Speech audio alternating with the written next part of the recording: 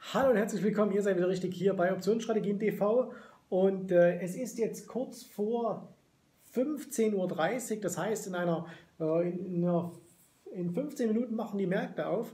Und diese Zeit will ich noch ganz kurz nutzen, um euch noch einmal zwei Bücher vorzustellen, denn äh, ich werde immer mal gefragt, Mensch, wenn wir hier Future-Optionen handeln, ähm, was sollte man denn da über Bücher wissen und um welches geht das heute im Video?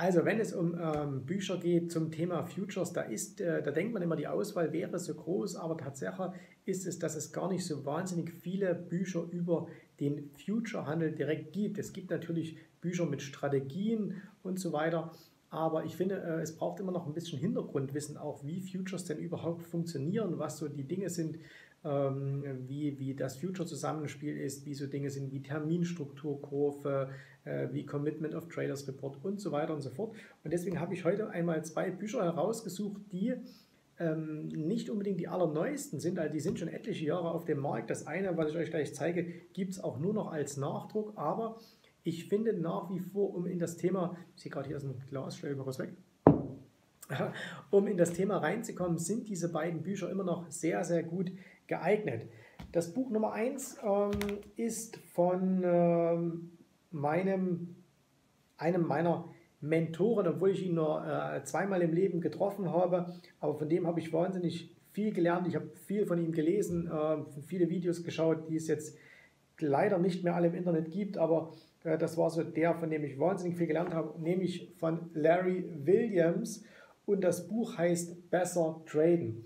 Und ihr seht es hier, das ist der Nachdruck, weil das Original, was ich mal hatte, das habe ich mal irgendjemand geborgt und dann war es weg. Dann habe ich mir das nochmal gekauft. Das Originalbuch ist ähm, schon irgendwann, ich glaube, äh, 2000 in Deutschland erschienen, irgendwann in den 90er Jahren in Amerika.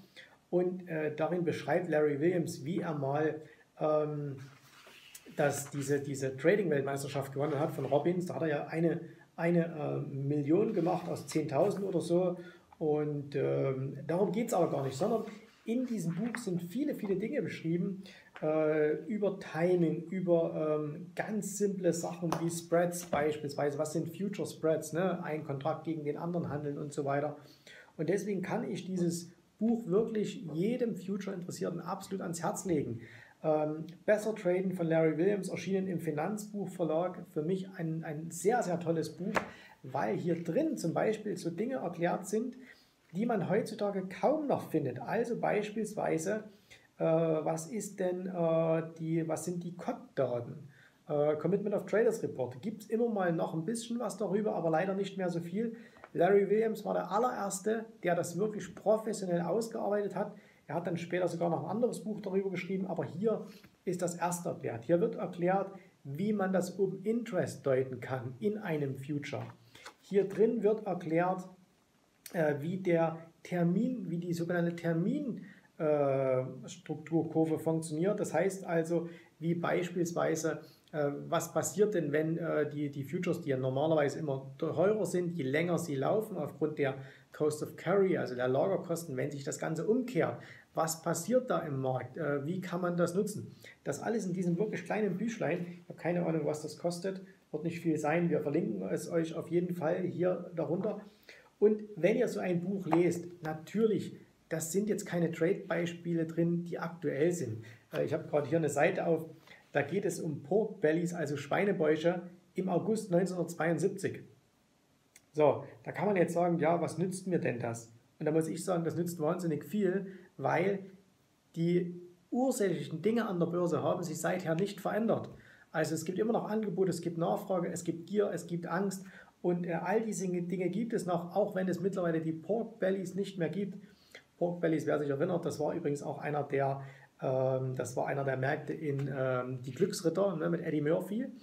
Ganz, ganz tolles Buch. Ähm, deswegen hier nochmal Besser Traden von Larry Williams aus dem Finanzbuchverlag. Ebenfalls ein etwas älteres Buch schon, das habe ich mir mal gekauft. Da seht ihr übrigens, dass ich früher schon viel Geld in meine Ausbildung investiert habe. Denn dieses Buch hat damals, ich zeige es euch mal, ihr könnt es ja hinten vielleicht sehen, 99 D-Mark gekostet. Also fast 100 Mark. Ich habe keine Ahnung, was es jetzt kostet. Wir suchen es wieder raus und verlinken es euch da unten. Und zwar, das Buch ist von George Kleinman. Waren Termingeschäfte, Rohstoffe auf den Weltmärkten erfolgreich traden. Und ähm, mal gucken, wann das ursprünglich erschienen ist, aber auch schon sehr, sehr lange her. Wahrscheinlich im Original. 2001 ist es erschienen. Also jetzt, okay, 15 Jahre alt. Kann man immer noch sehr gut lesen. Und äh, wer ist George Kleinman? Äh, George Kleinman ist ähm, äh, ein Händler gewesen an der CME, vielleicht ist es auch noch, keine Ahnung, an der CME in Chicago, eigene Brokerfirma gehabt, eigene Handelsfirma gehabt. Und dieses Buch, ihr seht es auch, viel, viel dicker als das von äh, Larry. Und das ist wirklich gut, weil hier sind ganz, ganz viele Dinge drin. Future Einführung, ähm, technische Analyse, Fundamentalanalyse, ein bisschen geht er auf Optionen ein. Ähm, natürlich sind auch hier sogar schreibt das so schön hier, äh, die 25 Trading-Geheimnisse und äh, dann ähm, hier hinten, ich das gleich mal kurz raussuchen, geht er natürlich auch ein bisschen ein auf äh, das von Jesse Livermore, also wie man damit umgehen sollte. Und äh, ein wirklich tolles, tolles Buch, weil wer jetzt wieder irgendetwas sucht, wo er sagt, äh, wo ist der Superindikator, mit dem ich jetzt sofort kaufen kann und der mir ganz viel Geld macht, der sollte sich das Geld für dieses Buch sparen. Wer aber verstehen will, wie Futures funktionieren, wie die ganzen Backgrounds sind, wie die Hintergründe sind, wie die Marktteilnehmer denken, wie denken die Großen, wie denken die Kleinen, was machen die Broker in der Mitte, was machen die Market Maker, der muss solche Bücher lesen.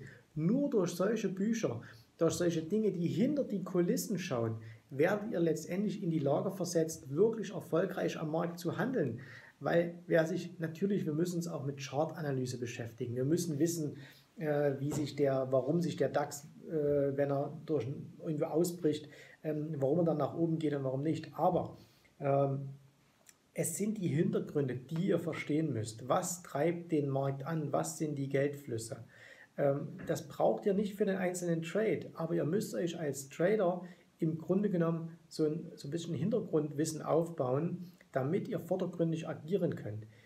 Ich will euch eine ganz einfache, ein ganz einfaches Beispiel aus einem anderen Bereich geben. Wenn ihr sagt, ihr wollt einen Kuchen backen, dann könnt ihr natürlich ähm, ein, ein ähm, Rezeptbuch kaufen und da steht dann drin, ihr müsst irgendwie Mehl und Eier und Milch und Zucker und äh, was weiß ich irgendwie nehmen, zusammenrühren und dann kommt ein Kuchen raus. Und für einen Hausfrauenkuchen wird es auch genügen. Wenn ihr aber wirklich exklusive Torten machen wollt, wenn ihr exklusive äh, Kuchen machen wollt, dann müsst ihr eben ein bisschen mehr verstehen. Dann müsst ihr verstehen, dass es eben, was weiß ich, verschiedene Arten von Zucker gibt, verschiedene Arten von Mehl gibt, dass die eine besser mit der anderen ähm, harmoniert, äh, warum ein Hefeteig was anderes ist als ein, was weiß ich, ein Blätterteig oder so. Und ähm, das kann der, der, der, Gottes Willen, die einfache Hausfrau, äh, die will ich jetzt nicht schlecht reden, äh, das kann der, der Kochbuchleser, der kann das nicht. Wie gesagt, mal so für einen Sonntagnachmittag so einen einfachen hingeschmissenen Kuchen kriegt der auch hin. Ne? Aber wenn ihr wirklich professionell werden wollt im, ähm, im, im Backen, dann müsst ihr Hintergrundwissen haben. So, und jetzt ersetzt einfach das Wort Backen durch Trading. Wenn ihr erfolgreich im Trading werden wollt, braucht ihr Hintergrundwissen das Vordergründige, was jeder weiß, was in jedem Buch drin steht, was in jeder Finanzzeitschrift steht, das lesen auch alle. Ne? Und das heißt, wenn ihr genauso schlau seid wie alle anderen, habt ihr keinen Vorteil. Das hier, das liest kein Mensch oder nur ganz, ganz wenige. Und äh, je nachdem, was das Buch jetzt kostet, werden wieder viele sagen, oh, das ist mir viel zu teuer. Aber man kann eben kein großes Geld an den Märkten verdienen, wenn man nicht bereit ist, auch ein bisschen was zu investieren. Und deswegen lest solche Bücher. Billiger kommt ihr nicht an Wissen heran. Deswegen also heute zwei Bücher. George Kleinman, Waren Termingeschäfte und zum anderen Besser Traden von Larry Williams. Jetzt habt ihr Lesestoff für die nächsten paar Wochen. In diesem Sinne euch allen eine schöne, erfolgreiche Woche. Wir sehen uns wieder beim nächsten Mal. Tschüss, Servus, macht's gut. Bye, bye.